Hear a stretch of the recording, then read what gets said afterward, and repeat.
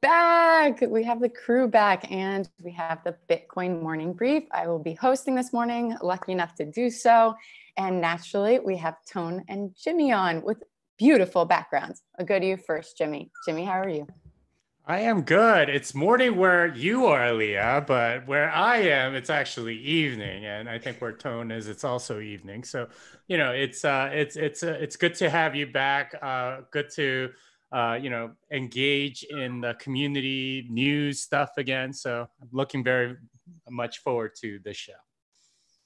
Yay, me too. Yeah, we'll have a little birds chirping in the background so everybody can wake up to, to the tropics. Uh, Tone, the streaming man with 12 full hours on that live stream that uh, Jimmy hung on to for quite a while and uh, was good fun. Tone, how are you? Ah, doing well. and uh, no, it's awesome to hear the birds in your background. And it's always evening where I am, Jimmy. Uh, and uh, uh, it's great to bring the show back. I was just saying this morning, after that epic live stream for 12 hours, uh, I basically, after having some conversations with Jimmy and a few other people, came to the realization that these news shows and uh, the other things that I was doing before I got you know into the rabbit hole of trading and finance is just so much more important to the world for years to come. Uh, no one needs another trader. I will keep doing, but there was a misunderstanding, guys. I will keep doing the technical analysis and price shows. That's not going away. But me actually physically trading, uh, that's going to be put on hold for years to come because this is just, I have a lot more fun doing this and it's just a lot more important. Uh, so now that I got that off my chest again, uh, let's get into the news show. Let's do it. And I will say, I agree. I have missed these a lot. I've learned so much from you guys. I will do a quick shout out to you, Jimmy, that your newsletters are incredible. And now that you've also, you do incredible jobs explaining all them underneath that I've uh, felt like we've been on the morning brief a tiny bit. So I've been uh, living vicariously with that one. But all right, we have a piece of yours here, and it says, for everyone that's not looking at the screen, Bitcoin halving is here, how BitMEX is causing fees to rise. And this has definitely been a big topic that you, I believe, were the first person to figure out with the mempool. So, what is this piece about? Uh, so it's uh, it's my newsletter that I send out every week. It has a bunch of news, but the lead story for this particular week uh, was the BitMEX, um, you know, like causing fees to rise everywhere because they do this giant dump of like 2,000 or so transactions at 1,300 UTC right around then. And uh, it's it's a bunch of multi-sigs that are horribly inefficient, not batch, not using SegWit. So, uh, you know, we debated it a little bit uh, with Luke Dash on um, on the 12-hour stream. Uh, but I, I, go through and explain exactly what's happening. It turns out that uh, the users on BitMEX are responsible for paying the fees, um, and they aggregate them all, and it ends up being about one Bitcoin a day, which is kind of incredible that they're paying that much in fees. But it causes the entire network to be clogged for most of the day, uh, especially because it happens at the beginning of the day US time. And uh, what ends up happening is that that lasts at least until 5 6 p.m often until 11 12 uh, p.m and that's uh, that's not very good uh, they could be much more efficient and we could have a much better uh, bitcoin network if they were to comply with best practices Perfect. Thank you, Jimmy. And we will definitely be discussing the piece more thoroughly on the next show. So, for everybody, this is on Jimmy's Medium page. And thanks so much for doing that, Jimmy, and all the tech talks. Yeah, uh, quick, um, quick so just a quick please. comment on that. Uh, we are going to bring uh, the Understanding Bitcoin Tech Show, and I'll try to bring Luke Dash Jr. back so that we could like discuss this kind of stuff. I'm still, uh, I still can't wrap my head around his views on uh, maybe using SegWit is not a good idea for regular transactions. Uh, so we will explore that in depth. Just um, that's my only comment. Perfect. And the next story, also on a Medium page, but Reddit jumps into loot tokens with new cryptocurrency on Ethereum. Oh boy. Jimmy, turning it back to you for this one. What is Reddit up to? What are loot tokens? Uh, so loot tokens are apparently uh, ERC20 tokens on the Ethereum network that they're issuing as a way to motivate their community members uh, to do something, I guess. Um, it's not entirely clear, but two subreddits, our cryptocurrency and our Fortnite BR subreddits, uh, now have loot tokens that you can earn through reputation and karma on Reddit. Apparently, there's a fixed limit. They say that there's only going to be 250 million of these coins, which will be used to uh, monetize some of their services. So uh, you can buy things with these tokens, uh, I guess like uh, Reddit Gold or something like that on uh, on uh, using this, or maybe some Flair or something to that effect. Um, the two tokens are called Moons and Bricks, as you can see here, um, and you can you can get them by getting reputation uh, it, this this is a clear money grab, and uh, and my personal feeling on this is that if you're a, com- a pub like a company that hasn't been into cryptocurrency before, and then you suddenly issue a token, it generally does not spell very good things for you because generally that means you're running out of money. You couldn't raise money from normal investors, and you had to go issue a token. And what is this? 2018? Like they're two years behind as well. This is like insane 17, that 17, they're doing 17. this. Yeah, yeah. I mean, at, at, least you know I'll give them the benefit of the doubt, right? Like there were some tokens in 2018. Uh, you know, like uh, I guess the Telegram token or whatever. But yeah, it, it's it's crazy that they're they're in this so late. But I I mean that may be speaking to how desperate they are to try to monetize the you know the site that they have which obviously has lots of users but they've had a very difficult time trying to get their advertising business to return like any sort of revenue so this is their strategy going forward hey guys are we are we actually streaming i'm having ish uh i uh, is my channel banned again I'm I'm seeing it. I'm definitely seeing it on YouTube. Um, some for some reason uh, it says video unavailable though when I when I click refresh. Right, and uh, the live chat is. Oh, but it. No, uh, yeah, I can't. I can't get to the live chat, but the video is there. So what the hell is going I, on? I see I my know. recording, at least from the camera. So at least I'll make sure I don't do too many bad things while you figure this one out. I'm gonna. Uh, I think it's on there. I'm gonna hit the record to my PC button here.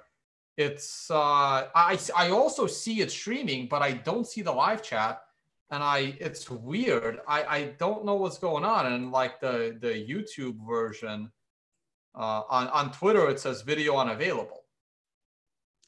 Yeah, that's uh, uh, that's strange. Jimmy, do you want to talk about the piece tone while you figure this out? Uh, sure. Uh, I'll talk about uh, the piece. Uh, but I have a question for Jimmy about that piece. Oh, leave it right there. Don't scroll. Uh, scroll up a little bit, Leah. Or sure. actually, I'm sorry. I'm looking at the YouTube video, which is like on a one minute delay. So never mind. Uh, if you just scroll up just above the chart, just above the sure. decay chart, just above that, yeah. where it says that the tokens are limited to 250 million. Uh, Jimmy, as a blockchain developer, what limits these tokens to 250 million? Nothing, because it's an ERC20 token, so they can do whatever the heck they want. I'm sure they have some backdoor into their smart contract that makes it so that they could they they could do whatever the hell they want. Um, and and the thing is, like, it's it's such a strange economic decision because apparently it's supposed to some amount of tokens will pay for reddit gold or something uh, now but the amount later will be less because they're getting burned as they get used to buy oh, this that, stuff you beat me to it damn it you beat me to it um it, it yeah the, the stupidity of the economics here actually get worse leah if you now scroll down to their three points what's what's the economic model of the token so their three points are amazing we just discussed point number two with Jimmy uh, that there is uh, absolutely nothing in point number two. Yeah, it's a little lower. It's just one, uh, the three bullet points. Yeah. Uh, there they are. They're coming up. Uh. We just discussed point number two that there is nothing limiting these tokens to 250 million. Um, now, point number one says the number of tokens issued diminishes over time and can only be earned from human effort. Uh, all future uh, human effort earns uh, tokens. They forgot to mention the part where Reddit, the company, will also retain a bunch of tokens. That comes later on in the article. Um, also, I love point number three.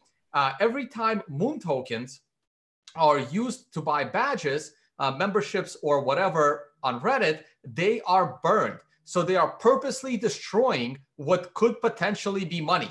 This is uh, again, this is ridiculous. This this was actually my uh, my original uh, statement, and Junseth will never live this down.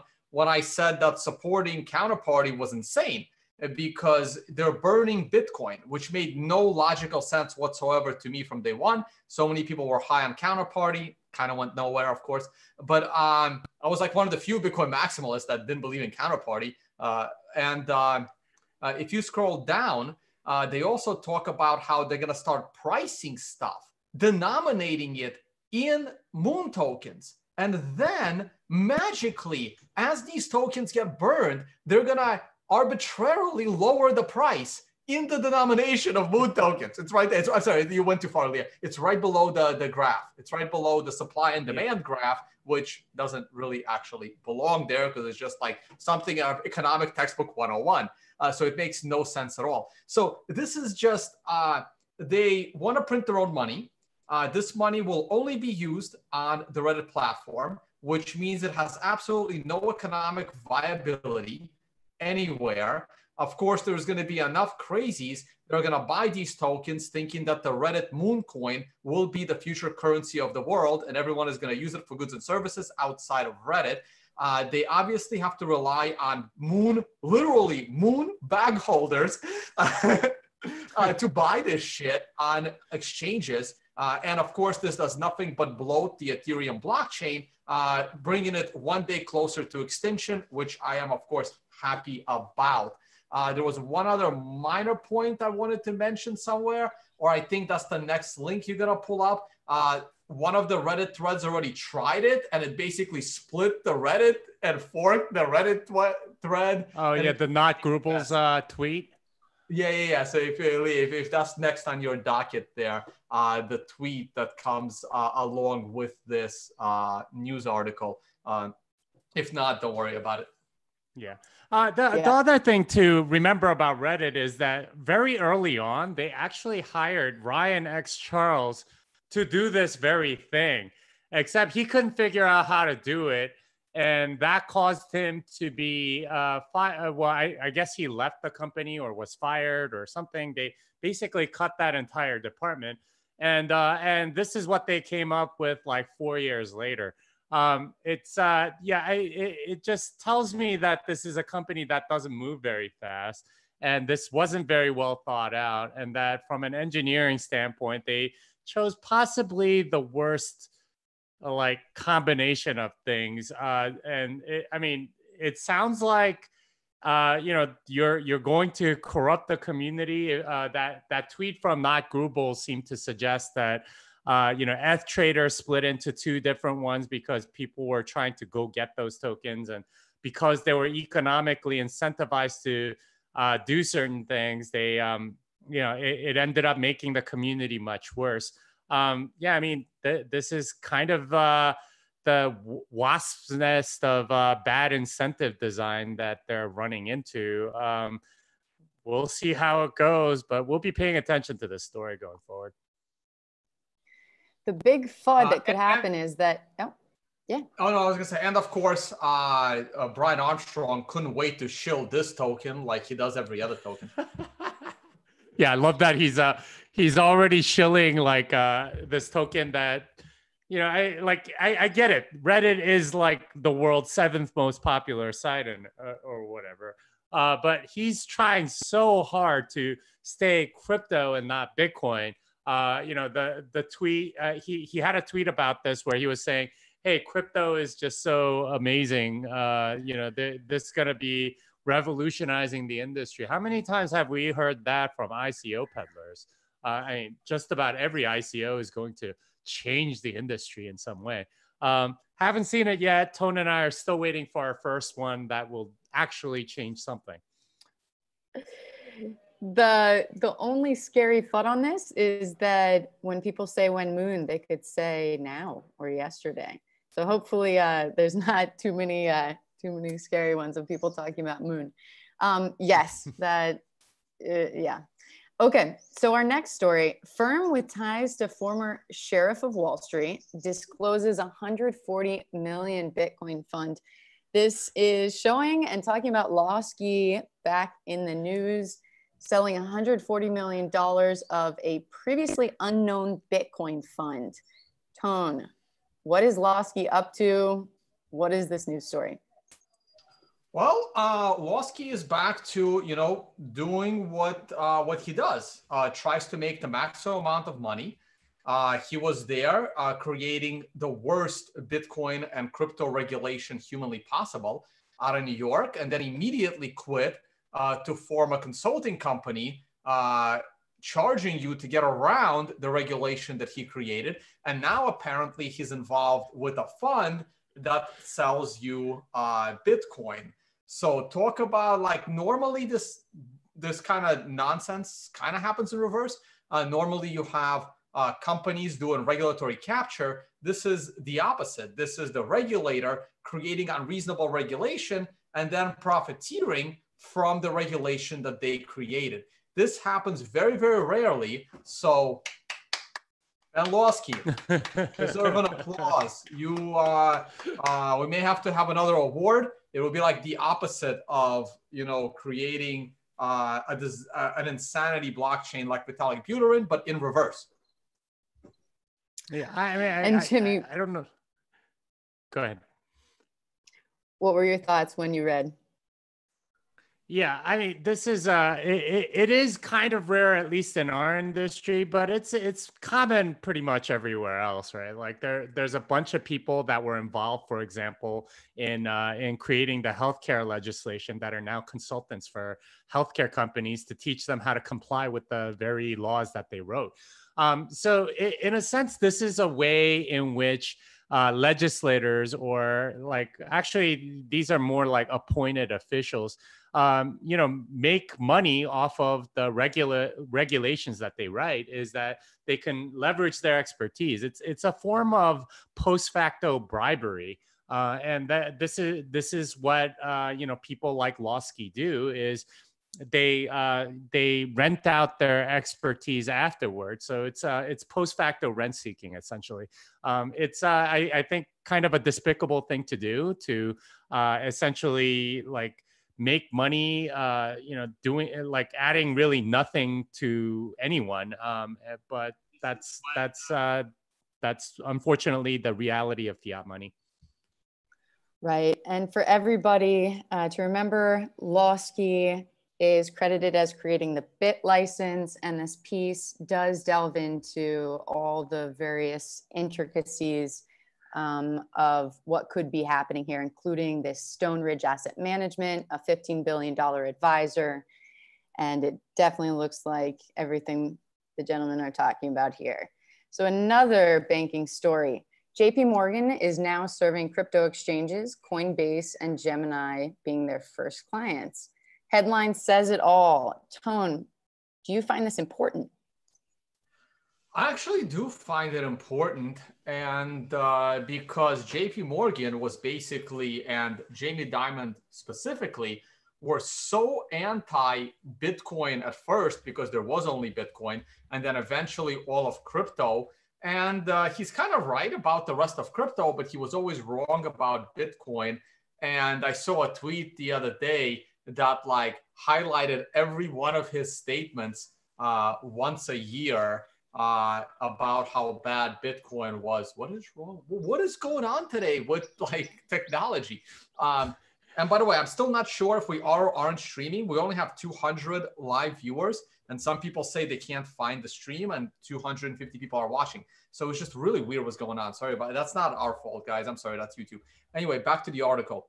So um, I think this is really, really important, and this is uh, it, it doesn't matter to the average person. Like to you or I, it doesn't directly matter. They're just providing banking services to Coinbase and they're providing bank services to Gemini. And eventually it'll probably be Kraken and some of the other regulated exchanges, or at least exchanges that are doing their best to comply with regulation. Uh, and I think it goes a long way. It just cements uh, Bitcoin's, uh, I guess, foothold in the traditional world of finance. Now, the honey badger doesn't really care. Uh, Bitcoin doesn't care if it is or isn't accepted by Wall Street, but I kind of care uh, if uh, the government decides to make Bitcoin illegal. And uh, once again, we can talk about all we want that the honey badger doesn't care uh, that the US government the criminalizes Bitcoin, but in reality, we do. Uh, I'm watching videos right now from all over the country, well, mostly just the over socialist states like New York and California, where if you go outside without a mask, you can get tackled by eight police officers, even if you're a female, uh, you know, holding the hand of a little child. And uh, as much as we can say that we don't care, uh, in reality, nobody wants to get arrested for making a Bitcoin transaction, just like no one really wants to get arrested for smoking a joint.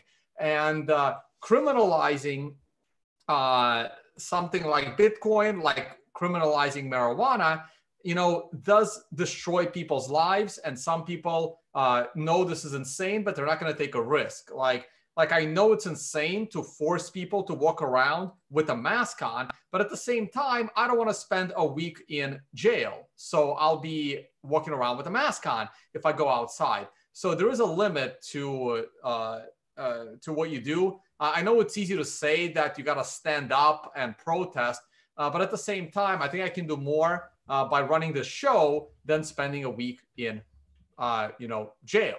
Uh, if I had a government job where I was getting paid during this whole thing, then it really wouldn't matter where, where I spent that week. Anyway, I'm getting off tangent here. So I think this is this is going to be important long term, and uh, it just makes it that much harder to demonize Bitcoin by the U.S. government and law enforcement. And I think that's important. Jimmy may not agree.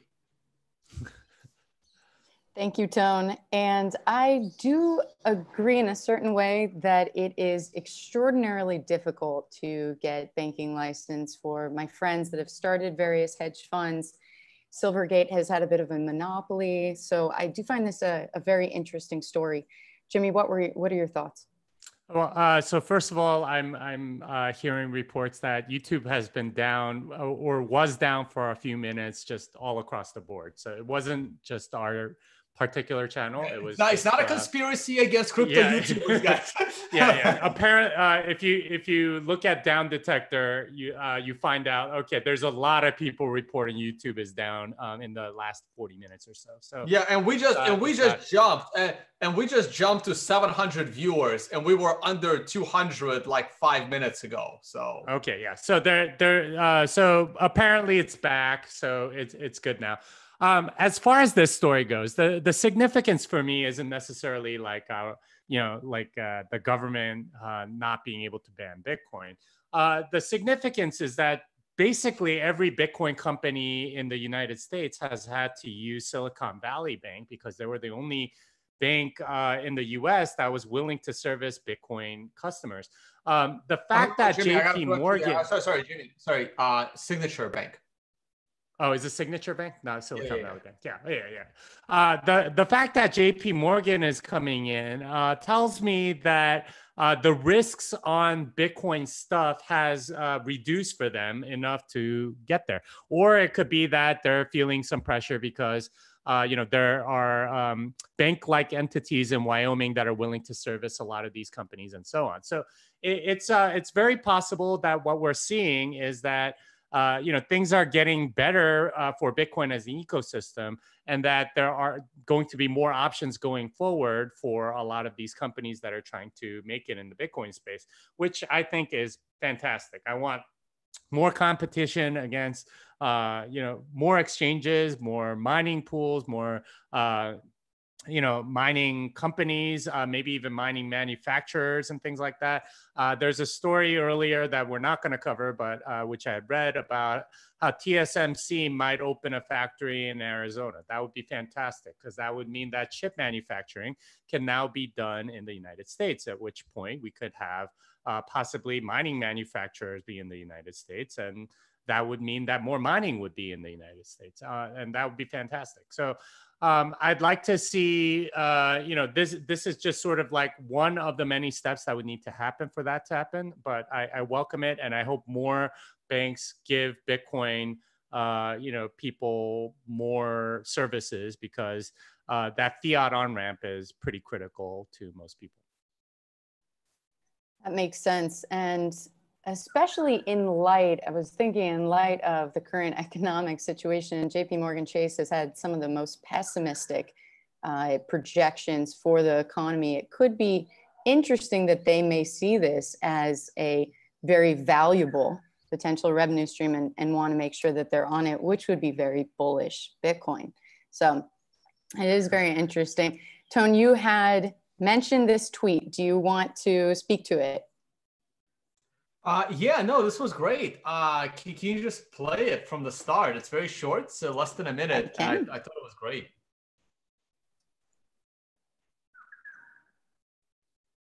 Oh. I don't think we're getting the audio. Yeah, no, I'm not getting the audio either. Governments would try to stop the currency being a Bitcoin currency, but be a, a technology.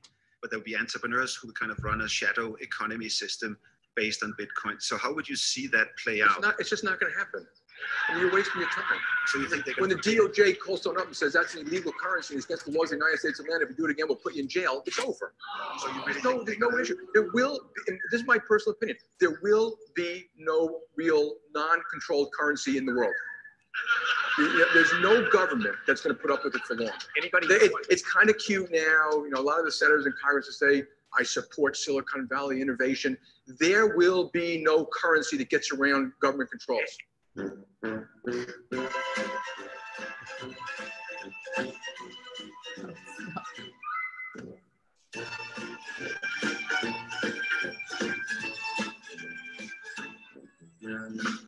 governments would try to stop the currency. Well, that that was telling for sure. Uh, Tone, it looks like you want to make some comments that does play into my point in that in the beginning, Jamie Dimon saw it as the government will never allow uh, a currency that gets around government controls. And now he's opening bank accounts for a currency that gets that can get around government controls because it's like no government controls it. So by Jamie Dimon doing that, he's basically he probably got the green light from the regulator saying that yes, they admit that they're not going to be able to stop Bitcoin, or at least maybe they think they do, but that would be crazy. And uh, that phone call, uh, you're going to get arrested if you use it, is not coming, uh, which is good, and that's very very important. Uh, and I, I find that important. Thanks, Tone. Jimmy, also, why do you think Jamie Dimon is doing an about face? Uh, I'm, money. It's they need money. Know. This is a client, and it's a big client. Yeah, I, but uh, as you said, Leah, I, I, think he's very pessimistic on the economy, or uh, the entire J.P. Morgan Chase Bank is. Um, they might see this as one of the possible ways to hedge against the coming craziness or economic downturn that's uh, bound to happen. And they want to get into the front of the line. I mean, having uh, you know clients like uh, Coinbase and Gemini, that's not a small thing. There's a lot of money being transferred. There's a lot of uh, lot of money to be made doing that. So uh, I, I imagine if this goes well, that they that the turnabout will be complete. But uh, but you know at least they have some plausible deniability. Oh it's just like sort, sort of something we're trying if it doesn't succeed but i suspect that it will be really really successful.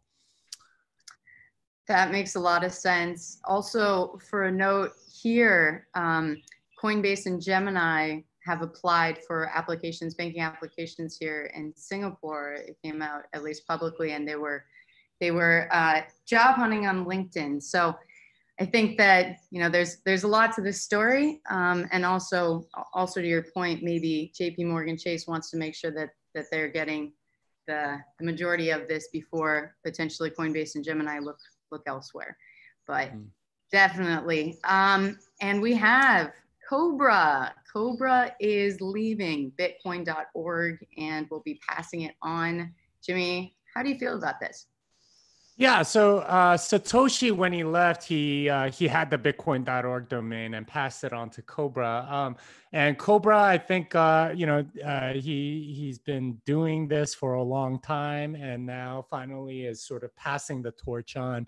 um, I, I I mean, I don't I don't blame him. Like there there's been a lot of sort of uh, you know drama around bitcoin.org what wallets uh, you know bitcoin.org was recommending uh, Bitcoin Core took out its own domain because uh, you know there, there was some conflict. Uh, but overall, I think Cobra's done a pretty good job of making sure that it has the right kind of content. Uh, a lot of stuff about the actual development of Bitcoin and like educational material and how things work and things like that. So um, good on him to know that you know the the right thing to do is to pass it on to somebody that will take good care of it.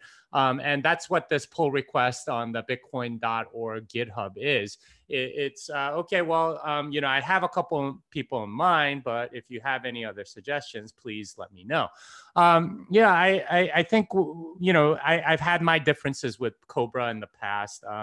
But you know, I, I, I still think he's done a pretty good job uh, considering like how like sort of haphazard the transition uh, to him getting the domain was and um, you know all the things that he's had to deal with over the years. So uh, very uh, very thankful that um, that he's choosing to do it this way and uh, you know best of luck to him. Uh, I, I, believe he's still pseudonymous. So um, you know maybe this is a way to increase his OPSEC as he goes into a Bitcoin future.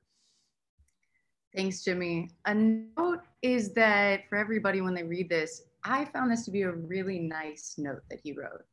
Just, uh, I, I, thought that it was written very well. Objectively speaking, I thought it was kind, but I don't have the background that you guys have at all.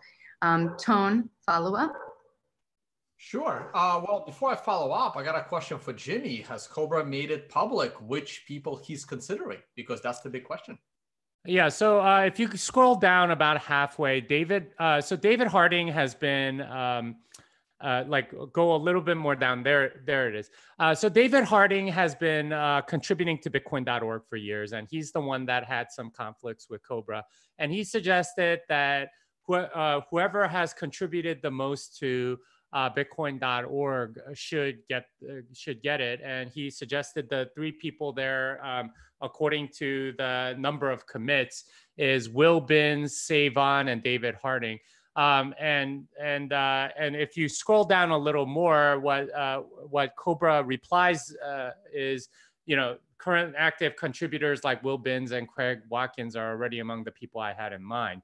So um, i think that's what he's thinking is to give it to the people that have contributed to bitcoin.org the most uh, which is the logical thing to do but you know he, he wanted to make sure he got more input. Uh, somebody later on suggested greg maxwell. Cobra didn't think that greg greg maxwell would be interested um, but then somebody found dug up some old uh, reddit comment that suggested that he might. So who knows if that would happen um, Matt Corallo later on, or well, somebody else suggested, okay, well, maybe you could give it to uh, the Linux Foundation or the Electronic uh, Freedom Foundation. Uh, yeah, yeah, uh, yeah. But uh, but Matt Corallo later on uh, says, hey, like those are kind of political organizations, and they're not going to know the ins and outs of Bitcoin. So I would strongly suggest that it go to an individual that could be trusted instead. So uh, we'll see where this goes. And uh, but yeah, there's plenty of time for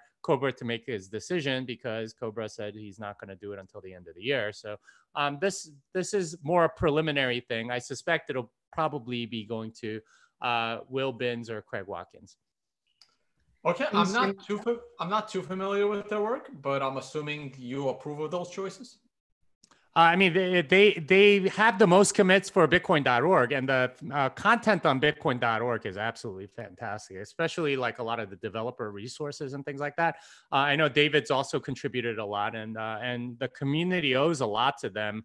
uh, for creating that kind of documentation because it's it's uh, it's very thorough. It has a lot of good examples, and um, you know, I mean, most of the drama was around like what wallets it was recommending and things like that, which uh, which I, I I don't think is nearly as important as like the actual educational material. One more follow up, Jimmy, and thank you. Mm-hmm. Do you?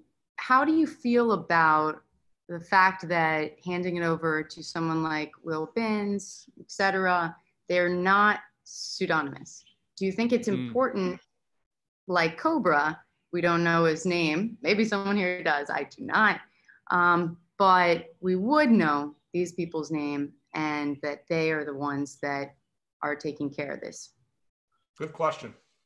Yeah, um, I mean, ideally everyone would be anonymous, but uh, like privacy is just so so difficult, and uh, and uh, it's uh, for for some people, especially like uh, like me, you know, like I I don't like it's part of my brand to be known, and that keeps me more accountable. So in some ways, it could be good because if you know that you're going uh, you know like you have to behave well in or uh, otherwise like people will like absolutely roast you and you might have a really bad time as a result um, for other people like they don't want that kind of burden but then they have the burden of uh, uh, OPSEC, which is not trivial, especially online.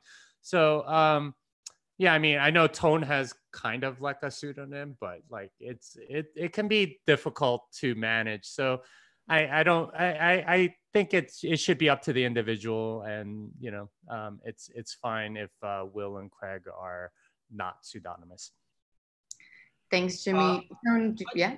I got no. I got a follow up question for Jimmy. Um, what what would you say if it was more like a like a multi sig situation? Let's say uh, you hand it off to maybe five people and then you need three of five to agree on future changes to bitcoin.org or maybe seven of 10 uh, and then you need some even bigger majority to say kick someone out or uh, what do you think about that structure yeah, I think that's all being discussed right now. Um, and, you know, certainly like, I, I don't know if Cobra would give it to a single person, but maybe like the combination if, if, it was just will and craig for example then it would probably be like a two of two multi-sig situation uh, for like uh, the commit access to um, to bitcoin.org or something like that. Um, and there there's the domain so there's like some sort of dns um, uh, you know that has to point to an ip address so somebody has to control that. Um, it could be a multi-sig situation in some some way or another.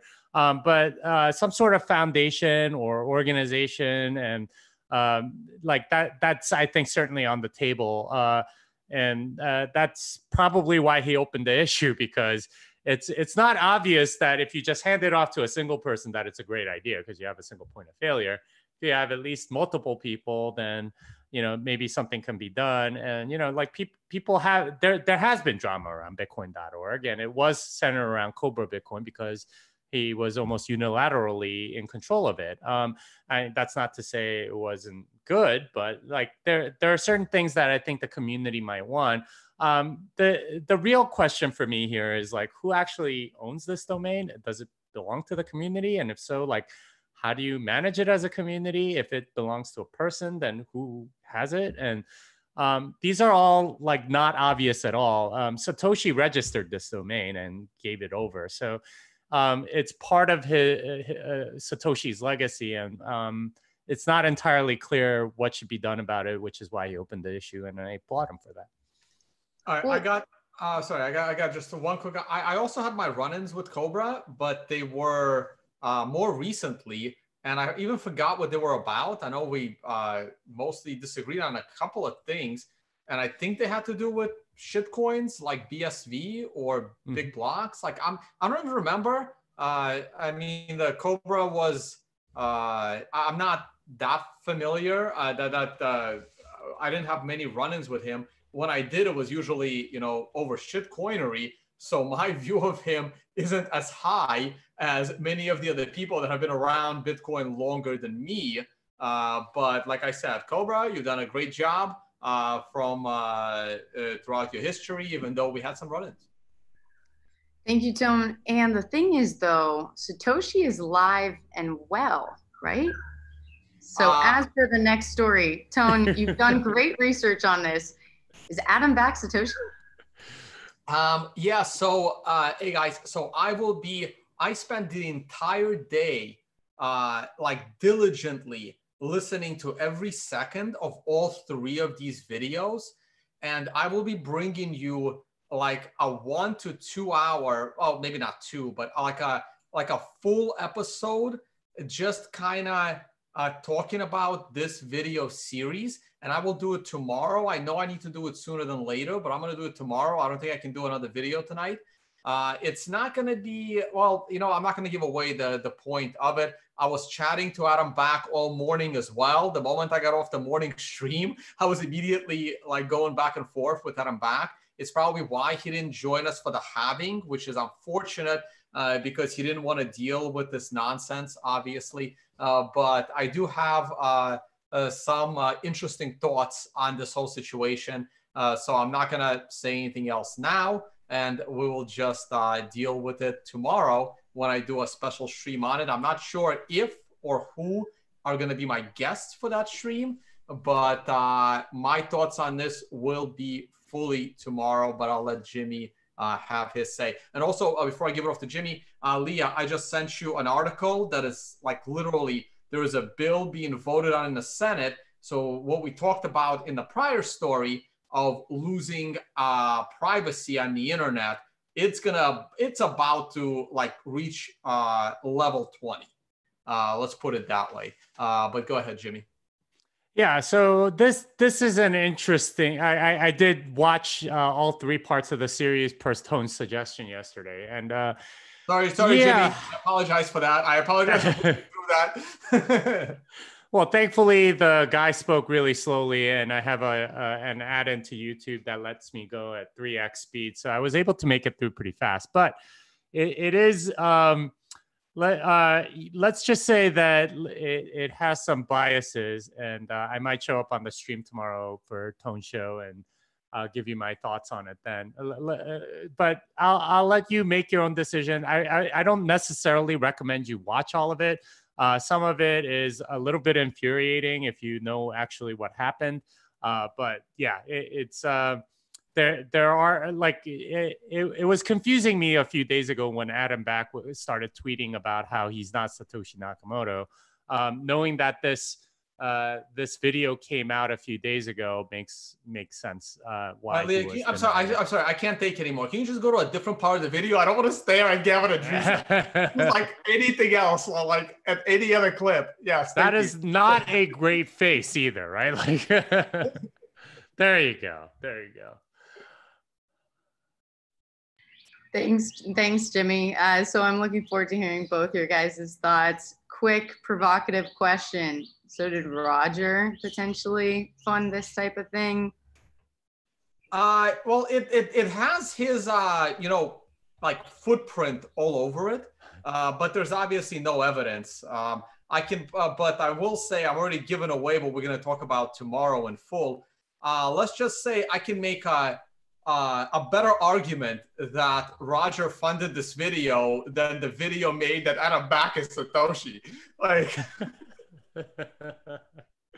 yeah, there there are certain things that uh, well, Tone and I have both debated Roger, and we know the same points that he brings up over and over again.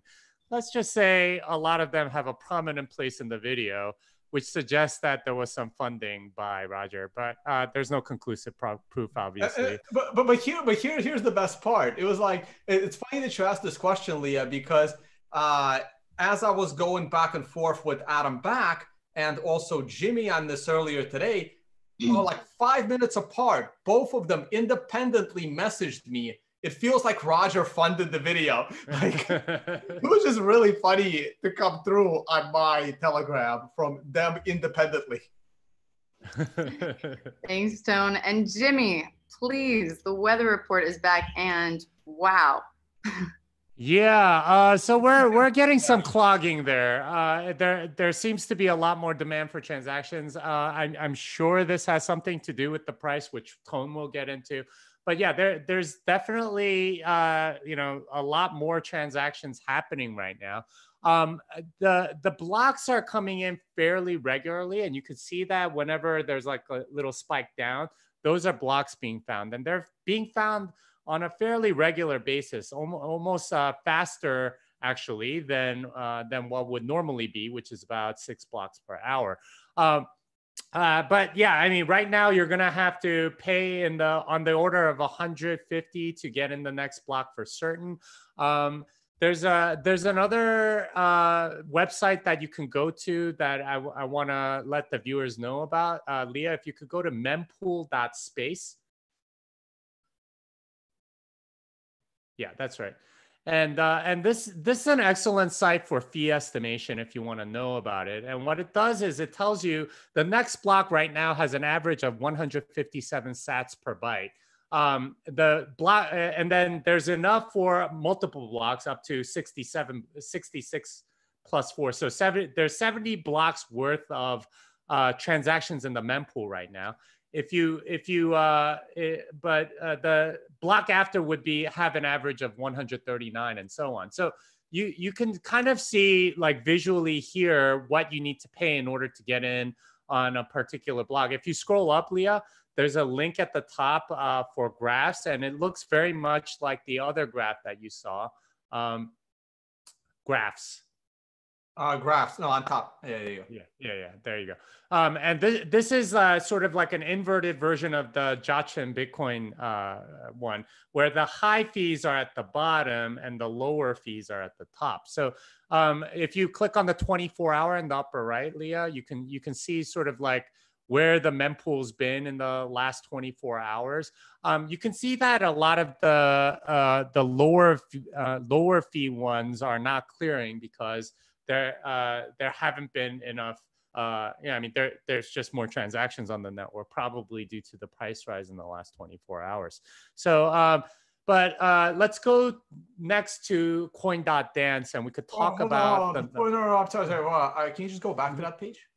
Okay, go to the graphs. The graphs, yeah. Can you just click on one month? I, I'm just curious. I actually like this visualization better. Yeah.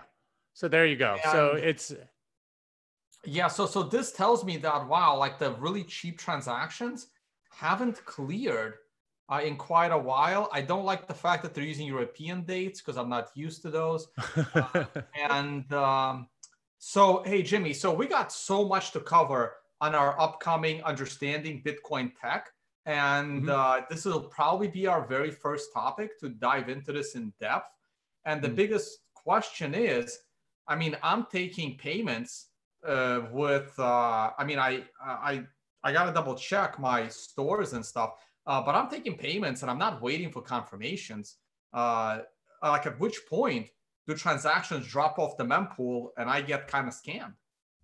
Uh, well, so I mean, depending on what good or service you're you're delivering, if you're if you're sending them like physical bars of gold, uh, yeah, you might get screwed. Not but exactly the if tone, it's not, not exactly the tone Vays business, uh, they immediately get a link to a video that I can't exactly take back. All right. So uh, it's possible you could get scammed. Generally, um, it, it, depends on like, uh, you know, the, the size of the mempool. Like there's no one mempool, right? There's multiple mempools. Um, every node has its own mempool, and it's whatever transactions that you've heard about that haven't been included in a block. Now, there, there's a setting on your node that you can set for how large you, you set your mempool to be. Um, so right now it's about uh, 80 megabytes of, uh, or 70 megabytes of uh, data in the mempool that hasn't hasn't been included in a block, which is why the fees are kind of high. Uh, but uh, if you if you set it to 50, then like 20 megabytes of it would not be in your mempool because the lowest 20 megabytes of it would just drop off. Um, but depending on what, what your setting is, I think the default setting is 100 megs. I'm not sure, uh, but whatever oh, so, it is. Oh, it, oh, so it's it. oh wow. Okay, we gotta save this for the tech show, man. So uh-huh. I get to control how long someone else's transaction coming to me stays in the mempool only if I'm running my own node.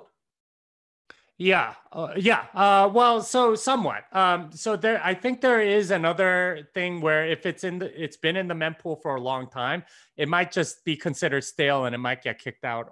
Uh, kicked out, and those tend to be low value transactions anyway.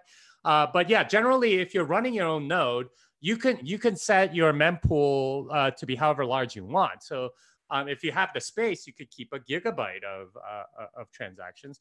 That the mempool doesn't hasn't really ever gotten that big, but okay. So, so uh, this uh, is so this, okay. No, no, Jimmy, I'm gonna we're gonna dive into this. I don't want to take up more time on the show, but like I didn't know. I mean, I look, I am running BTC Pay server. I am running it on my own node. I am running it on my own server. Uh, but I am not actually, I'm not technical enough to actually do that. Like this is why I pay a web developer uh, that understands databases really, really well and can code. Uh, and my developer manages that. Uh, so when you say your mempool, I didn't know I had a mempool. I thought the mempool was, you know, like the blockchain kind of thing. I thought it was uh, a general thing, like cumulative. But uh, but you're saying each node has delegated space of uncleared transactions, and all of them combined is the mempool, and then each of them individually is a mempool. Yeah, yeah, basically. Uh, so, um, like, it, it's called the mempool because it's in memory and it hasn't been written to disk yet, right? Like, so uh, when once once it gets combined into a block, then you clear those things out of the mempool and they go onto disk um, into your blockchain that's on disk.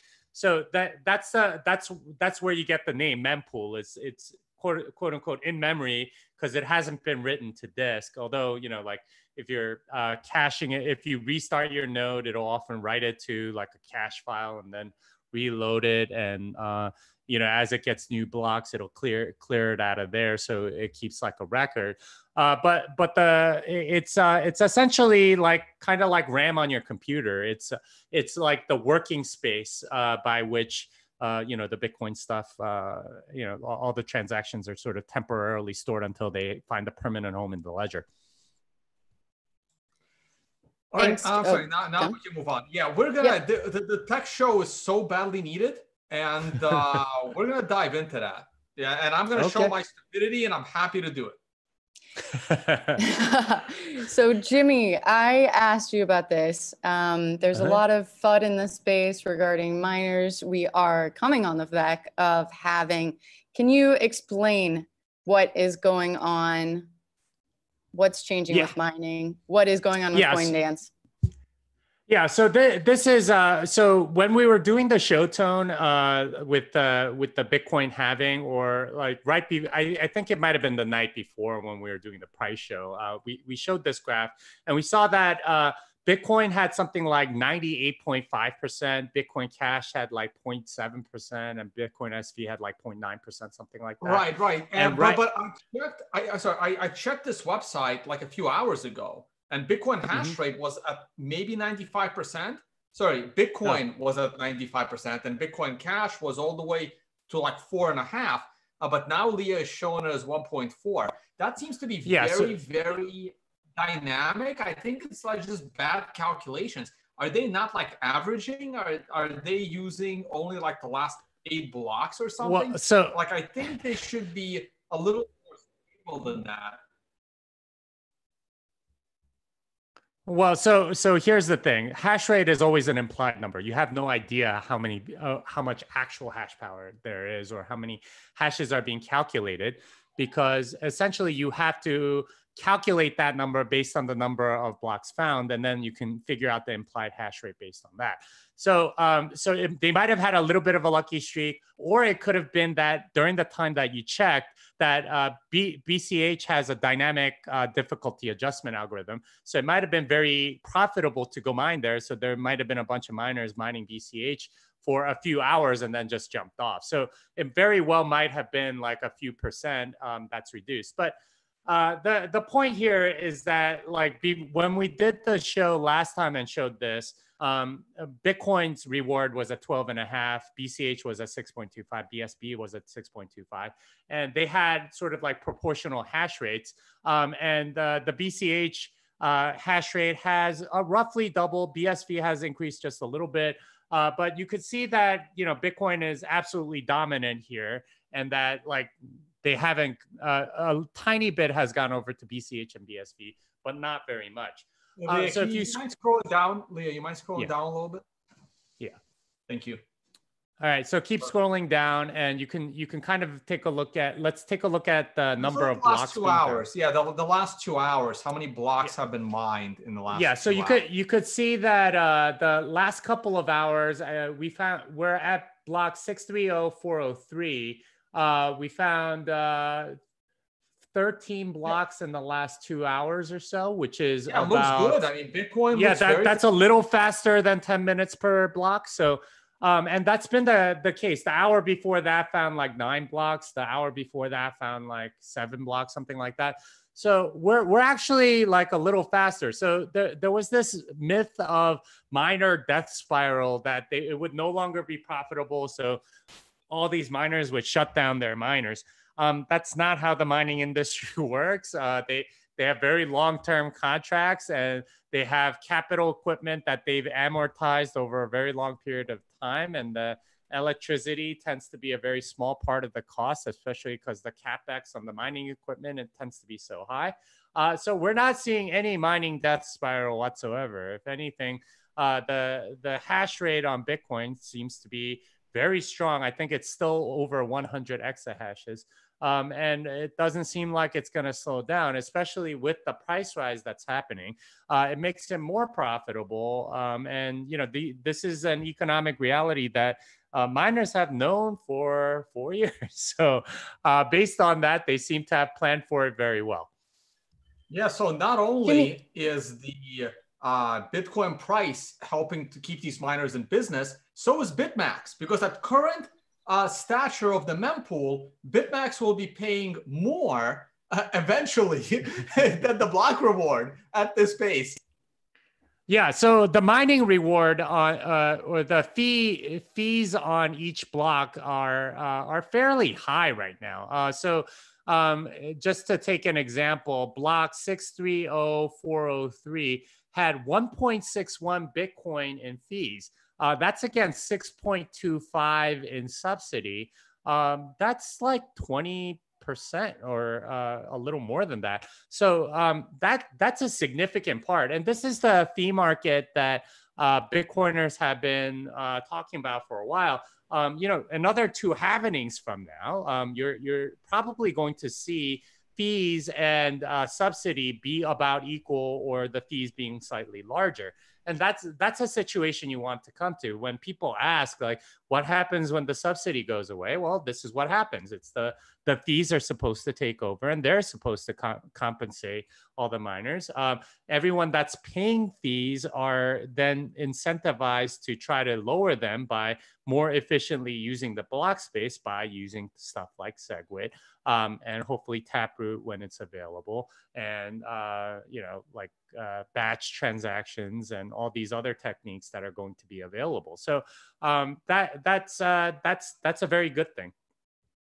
Jimmy, one quick follow up: Does it worry you how many miners are Chinese? No, that it's so centralized uh, I mean, in one country. I don't know if it's centralized. So uh, the pools are in China. The biggest pools are in China, and the the way the economics of pool pooled mining works is the whole point of a pool is to reduce variance on your output reward. If you were solo mining, then you would get 6.25 bitcoins every once in a while, but it would be very infrequent. Uh, but if you pool it, then you reduce variance and you get a smaller payout on a regular basis, which is what you want. Um, I suspect that uh, certainly a lot of the pools are in China, but that doesn't necessarily mean that all of the mining equipment is in China. Even the big mining mining players are uh, you know tend to be in different jurisdictions because it depends on where the energy source is. So I know, for example, that there's a big uh, you know Bitmain operation in Mongolia because uh, you know there, there's a you know a source of energy and uh, the climate is pretty dry, so it's good for the equipment and so on. So um, you know depending on and you know there are lots of places in the world like that. They may have uh, they may be using the Chinese pools, but it doesn't necessarily mean that uh, they're all in one location Now that said, there is a lot of uh, mining power in China, um, but you know that's been the case for a while, and it hasn't really caused that many problems so far. They did sort of have quote unquote like banned mining or something like that, and then we found out uh, short time later, a lot of that equipment ended up moving to the United States and Canada. Um, in which case, you know, like they're taking advantage of the things there. So as more economic opportunities for energy arbitrage uh, pop up in the world, I expect that to get more diffuse. So um, yeah, that that's that's ultimately I think what's going to make the whole thing better. I'm also looking forward to Stratum V2, which should make uh, pool mining a lot less centralized. So um, basically, anyone that's participating in pool mining, they get to determine the block and not the pool itself. Um, and that that will uh, make it so that you can have the variance reduction of a pool, but you don't have to necessarily. Um, you know, you you get to create the actual block and not the pool, and that that would be a wonderful thing for decentralization.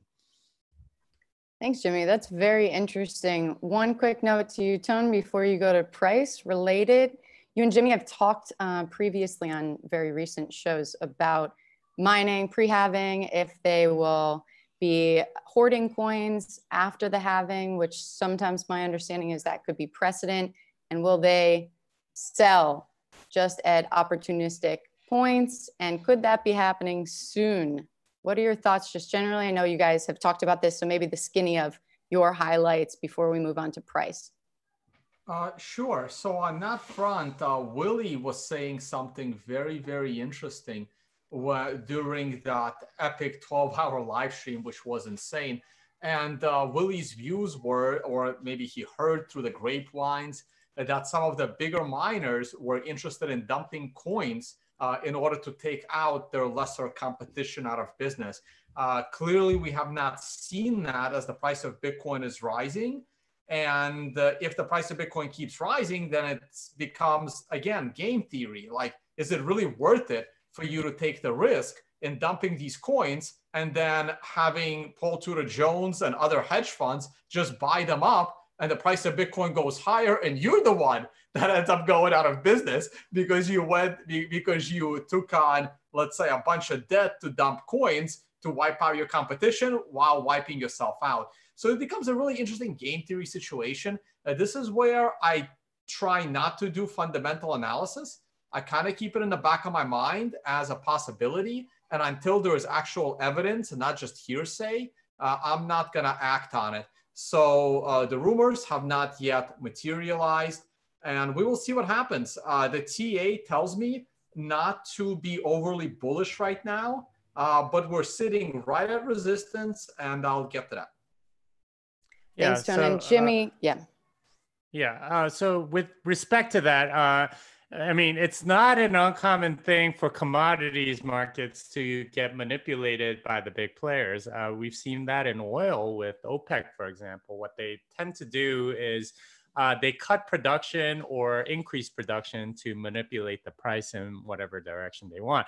Now, you can't increase production in Bitcoin and you can't cut production in Bitcoin. So, really, the only um, only sort of lever that they have is accumulation and then sell off.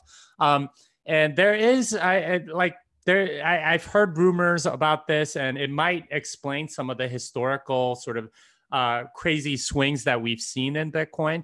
I've heard rumors that uh, you know miners uh, all sort of like are trying to bankrupt each other, and as a result, they'll all uh, you know the the biggest ones will sort of start dumping, and then that will cause the uh, the price to dump to at such a level as to actually create enough pressure to bankrupt some of these other miners. Um, and that in turn will uh, you know put them into an accumulation phase where they can rebuy at lower prices and use that as uh, sort of a war chest for next time. Now, whether or not that's actually happened is uh, is you know kind of speculative, but it's not an unknown thing in commodities markets, and it wouldn't be a surprise to me at all if that's actually what's happened in Bitcoin as well. Thank you, Jimmy. Thank you, gentlemen. We're Stephen and I are looking of when to buy in. So that has been helpful for our clients. So with that said, Uh, Tone, yeah, price, and gentlemen, wait, I need to wait, jump off. wait, Yeah. wait, wait, wait, wait, wait. Before you get a bunch of really strange question questions, I know who Steven is, but people watching don't. Please. Okay, great. Really quickly, um, my partner is incredible. Under Exponential, we have built a new asset management firm. Stephen, uh, he was a portfolio manager at Guggenheim, massive portfolio genius, and then went Bitcoiner and structured uh, one of the closed-end funds that Galaxy bought. Then started Arca. Um, Arca wrapped up an ETF a very interesting way, um, and yeah, so we're looking of you know when and how to buy into GBTC and uh, new news to come. So thank you for for letting me uh, show my partner there, Tone. Yes, Incredible uh, Leah partner. joined the new All fund right, gentlemen. uh, as a, uh, and we will bring on uh, Stephen and Leah on the show uh, sometime in the near future, and we can talk about their fund. Thank you. And I, Jimmy, you have to be on with your economics genius as well. Um, so that'll be fun. Guys, I've missed this whole, so much. I can't wait for this to continue. And I need to go to work. so, Tone, I'll be listening. And thank you guys. Hey, thank you, Leah. We're gonna take a quick. Thank you, Leah.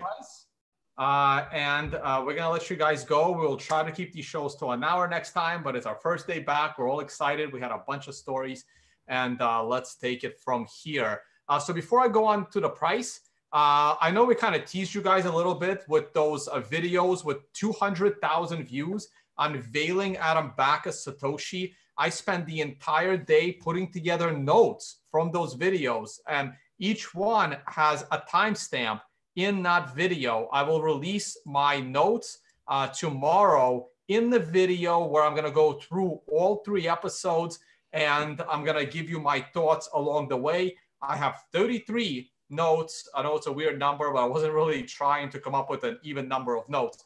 Uh, so I have 33 notes that I want to talk about when it comes to the three part series. Most of those notes are about episode three. Episode two was kind of useless. You don't even have to watch it. Uh, episode one kind of, you only have to watch episode three. I mean, one and two were like uh, useless. So uh, I'll bring that to you guys tomorrow. Uh, Jimmy may stop by. I'll talk to him about it. I don't know if he's going to want to sit through watching all of them with me on camera. Uh, but if he wants to, uh, Jimmy is, of course, welcome. And I'll try to get another guest if I can, someone very interesting. Uh, not that Jimmy isn't, but someone else that hasn't been on the show that I find interesting. Hey, so the one thing that we talked about, Jimmy, that uh, came through while I was on the air is we're about to lose a lot of our privacy. And look at the yays versus nays on this disaster. Okay. Uh, thoughts just off the headline?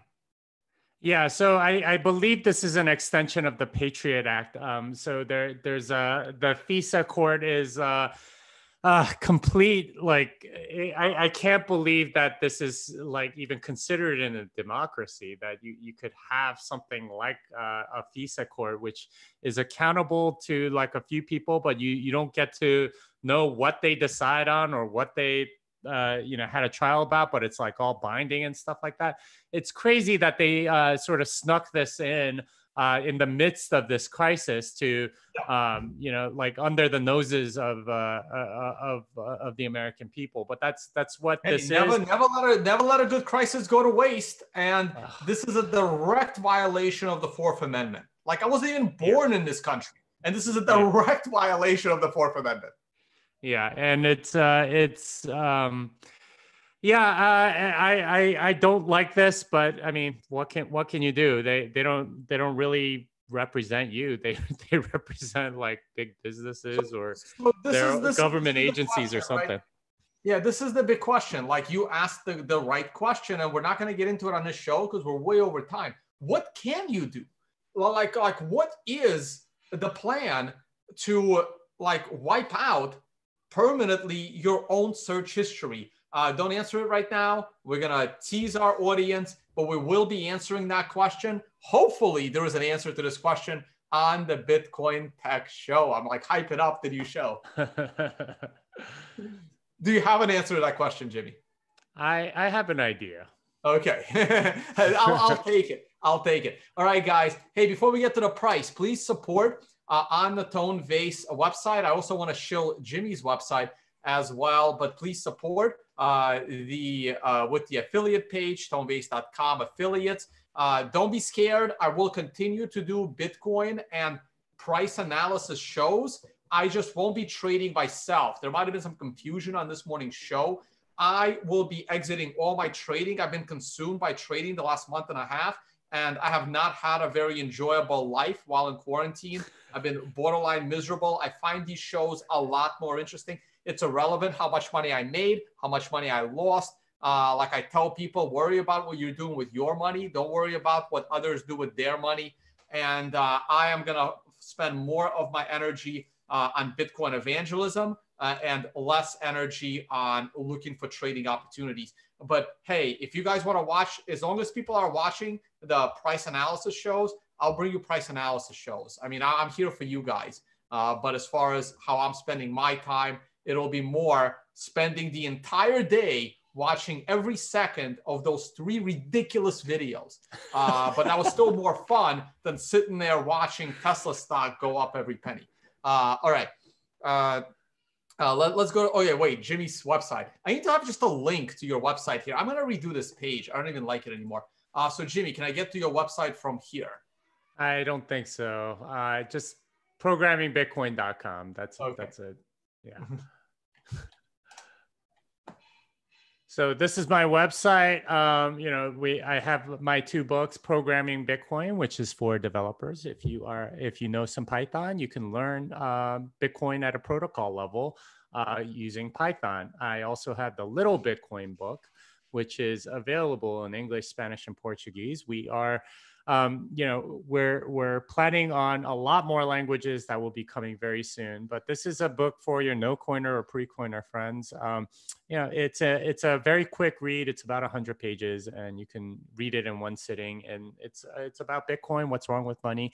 Uh, it's a it's a very easy to read overview of what is going on. Yep, and I got them both right here for you guys. I know it's a little tiny corner up there, but uh, one of these days we're gonna do this before my cam, my phone, my screen share comes on, and uh, on my bookshelf. I just have another. I, am actually pimping out my backgrounds, man. This is what happens when you're in quarantine. You end up on Amazon buying a million things, but that's all good.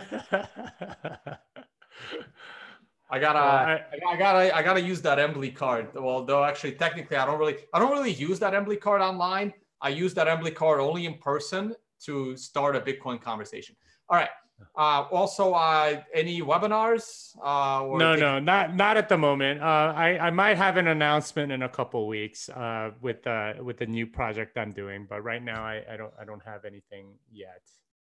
All right, uh, guys, I had to restart my computer right before the show, and ironically, YouTube went down as the show started, and that's why we had like no viewers for the first 20 minutes of the show uh, please uh, go back and watch the beginning if you can. Of course, like and subscribe.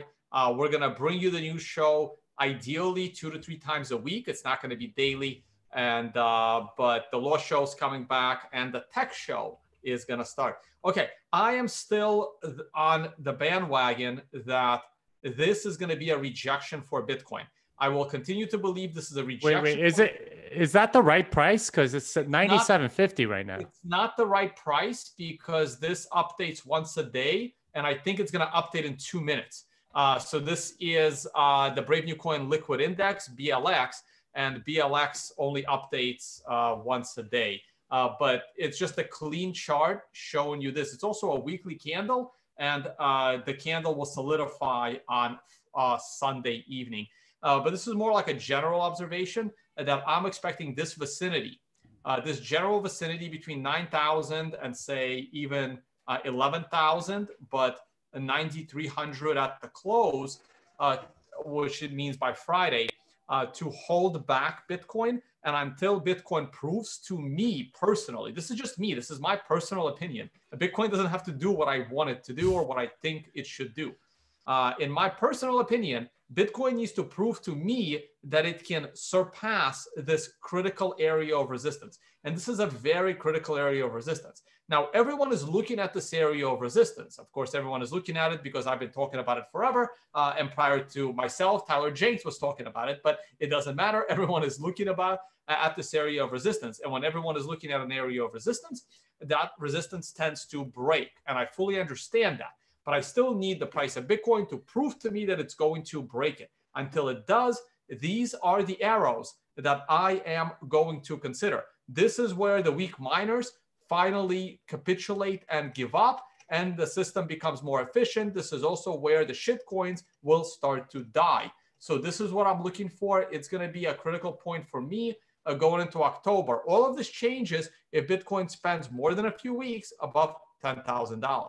Now, let's look at the same exact chart, but this time with the updated price. This is also a weekly look, uh, but this time around it's the op- it's the updated price. We can also look uh, damn it, I didn't mean to hit that button because those arrows randomly showed up. Uh, let me put this back down. So let's look at the RSI. The RSI is very, very bullish uh, for Bitcoin. Let's look at the MACD. The MACD is not very, very bullish, but the MACD is certainly bullish. And if we look at the CMF, CMF is a problem. CMF is telling you to be very, very careful. CMF continues to decline. Uh, CMF reached its peak uh, in June, it made a lower peak in February, and now it's barely making a peak at all. So the CMF is telling you there isn't that much money flowing in. The CMF stands for Chaikin money flow. So there isn't that much money flowing into this current upswing, and that is not good. Uh, if we swing a little bit higher than the prior swing high, and the CMF is this bad, that is very clear divergence, and that's not what you want. Uh, now, the RSI may or may not be divergent at that point, and the sorry, that was the MACD, and this is the RSI. The RSI will not be divergent if we swing higher, uh, but the MACD still could be, and the CMF probably will be. We are on a six of nine sequential, so I am still looking for potentially three more weeks of upside, but that upside doesn't literally have to be upside. That upside could be downside because Bitcoin could fall back for the next three weeks from here, as long as it stays above 8,900, I will get to see that nine. So Bitcoin will could consolidate, it could rise, or it could go down a little bit. Uh, obviously, it could do anything at once. Uh, the daily is going to close uh, any second now, but this is the weekly, and the weekly still has three days to go. I am anticipating this uh, resistance to hold unless proven otherwise. Here's the uh, daily. Tone, could you go back to the previous one? Um, are, are if it breaks above the 0.764 Fibonacci line, are you bullish? Um, I'm not necessarily bullish if it so okay, so it's not about breaking this Fibonacci line, it's about closing above that Fibonacci line. So uh, okay, uh, uh, no, I, I, meant the line above that one, the 0.764, the 11568. Oh. Um Man, that that that's a loaded question because uh, it depends on how fast. Like here's an example: if we if I wake up if I wake up tomorrow morning and the price of Bitcoin is eleven thousand five hundred, I'm not going to be too happy. Not because I don't have Bitcoin. Uh, that's not the reason. Is because it would have gone up in an unsustainable way. And hmm. I would maybe be short term bullish, but I would then be extra intermediate term bearish. Because if we overshoot, we then gonna undershoot.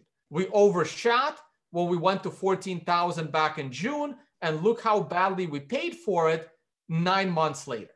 Okay. So just going there is not enough. It's how you get there. Now, if we get here, say in October, in an orderly fashion, I would be very bullish across all time frames, uh, like mooning.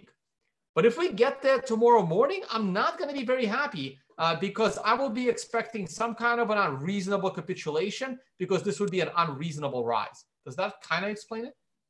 I think so. Um, I, okay, so somewhere between now and October, you wanted to hit that point, but well, not, not between now. Right like I wanted, I don't, I wanted to go there sometime more like between September and October. not but Okay. not like too early. Uh, like Bitcoin has already gone up too far too fast, and it needs pullbacks. Like if you go back to 2017, 2017 run the giant run up in 2017 had some you know reasonable pull uh, pullbacks along the way. Here's a 30 percent. Well, even before that, uh, coming off the lows. Uh, here's a six to nine months consolidation.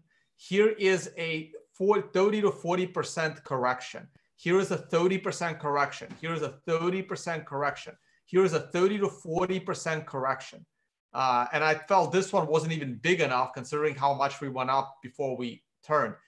30% correction. This one was just fine because we didn't go up as much. Uh, this one was a little bit shallow, still a 20% correction, but a little bit shallow on this one and went parabolic and paid for it.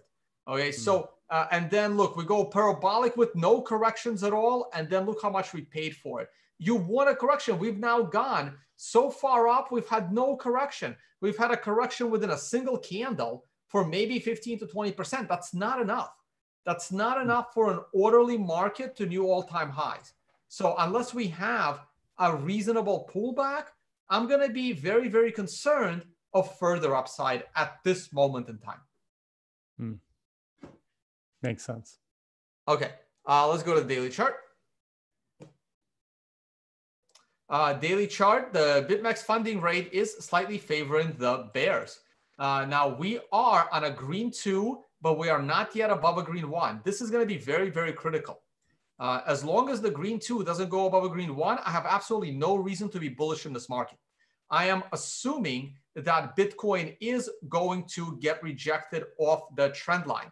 The first element that makes me doubt the fact that uh, Bitcoin will break, uh, will get rejected by the trend line. So the first uh, bullish sign that Bitcoin is ready to challenge the break of that trend line is a green two above a green one, not only intraday over the next 24 hours, but also on the close. I guess half a step is uh, a touch above this high, and a full step number one is to close above it. Now, step number two is the weekly close above it. And step number three uh, is uh, the following candle, making you yet uh, a higher high on a weekly candle. And then by then, you can start to become bullish. And of course, step number five is multiple weekly candles above that trend line. So you can take, uh, so, so those are my steps to anticipate new all-time highs sometime this year. As of right now, uh, there is zero reason for me to anticipate or assume that trend line is going to break. Yeah, but that that candle is only 40 minutes old, so it's possible that yeah. Yeah. that Correct. That's why I said over the next 24 hours. Yes. yeah. Uh, the four hour chart. Uh, the four hour chart is looking very bullish. We hit our nine, we slowed down, we had a green one above a green nine, and now we are working on a green two that could potentially be above a green one, that could potentially be above a nine with the setup trend line, with the setup trend resistance line uh, right there. So once again, if Bitcoin is going to get rejected by this trend line, it needs to happen now because this is where it starts. This is where the four hour chart uh, starts to turn bullish. The CMF is beautiful. The RSI is a little overbought, but okay. And the MACD looks very, very good. So if Bitcoin is going to challenge these highs, it needs to do it somewhere on this can this four hour candle or the following four hour candle, because then this time frame turns. And uh, Jimmy wasn't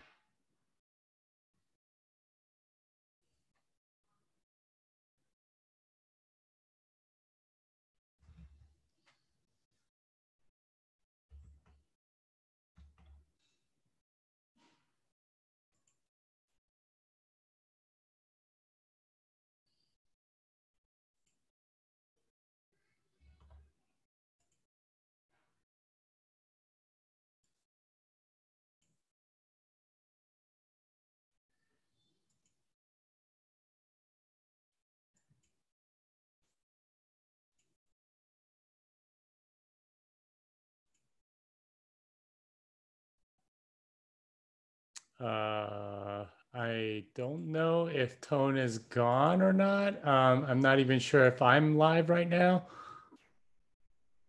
Tone?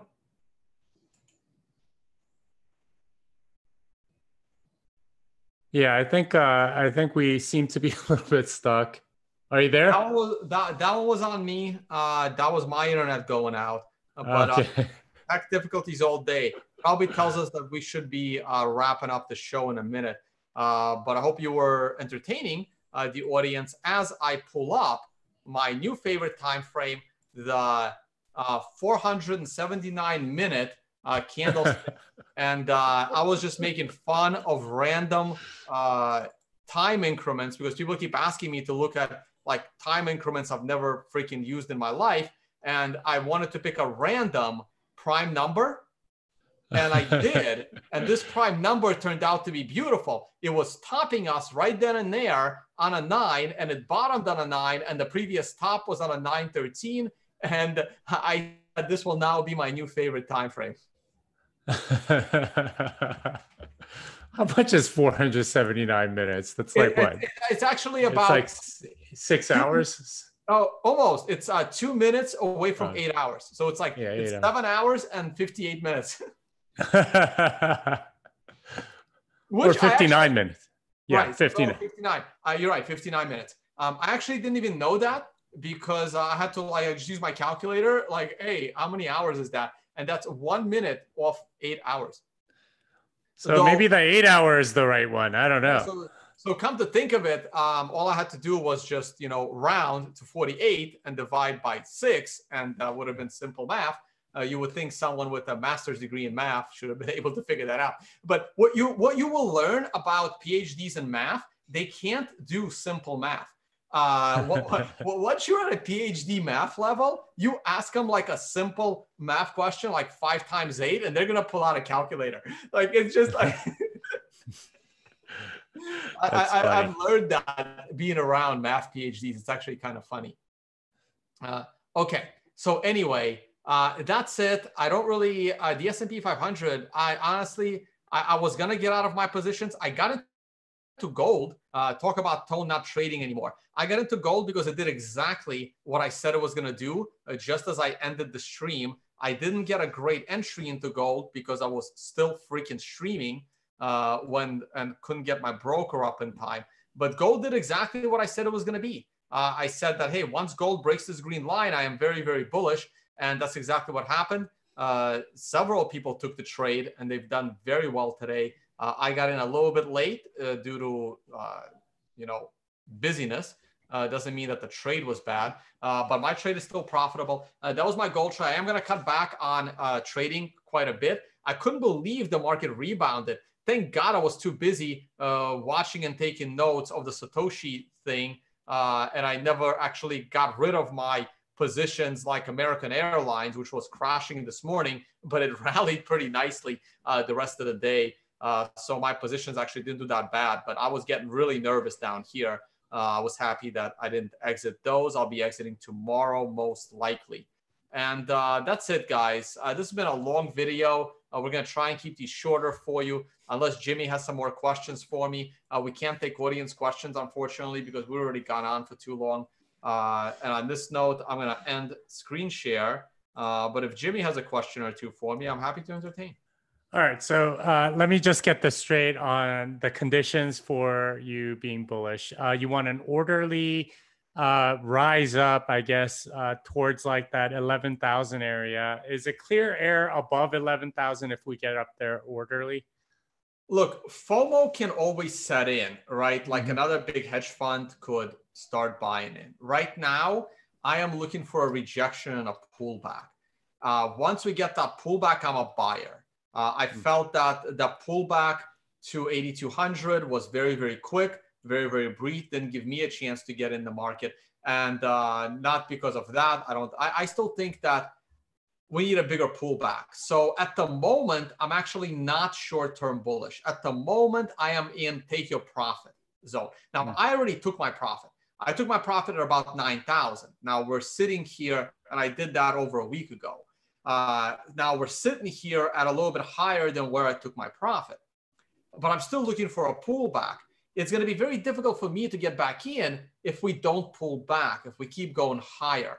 I don't know at which point I'm going to get in because the moment I get in at this point, it's going to pull back and pull back hard. So I'm going to stay patient and I'm going to wait for a pullback.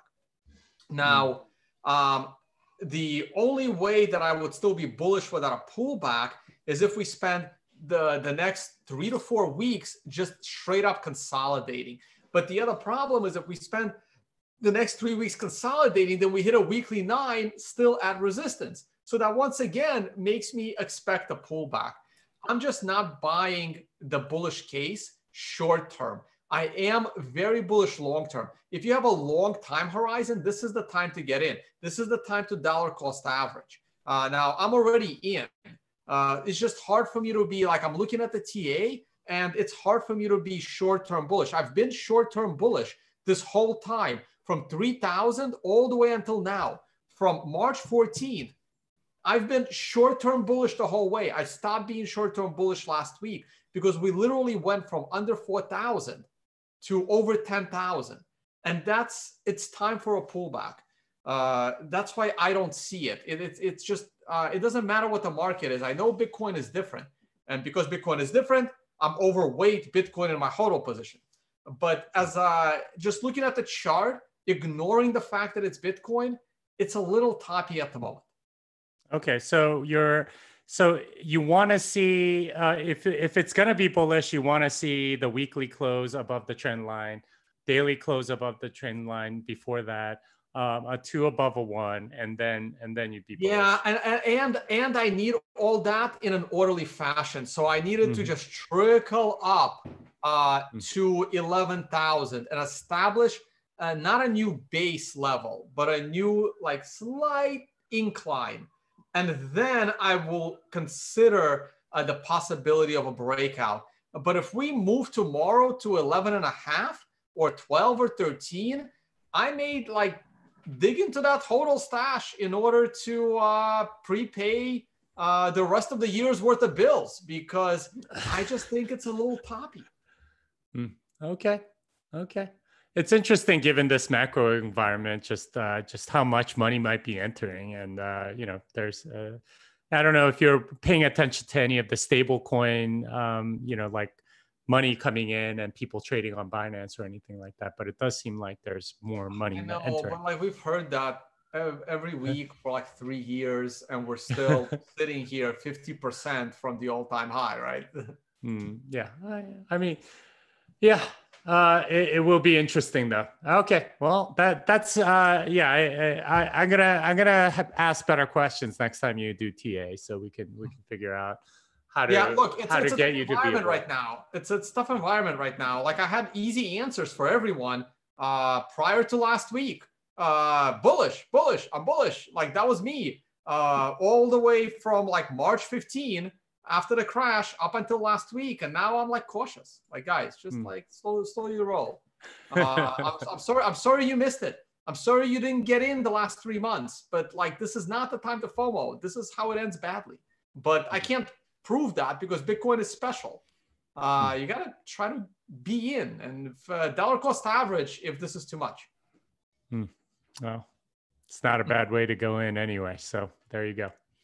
All right, guys. Uh, sorry about the YouTube trouble. That was on YouTube, not on me. And uh, thank you so much for watching. I'll probably bring you a price show tomorrow morning. And then tomorrow afternoon is going to be the overview of that Satoshi video. Uh, please check out tonevays.com. Please support with the affiliate page. And Jimmy is going to sign us out.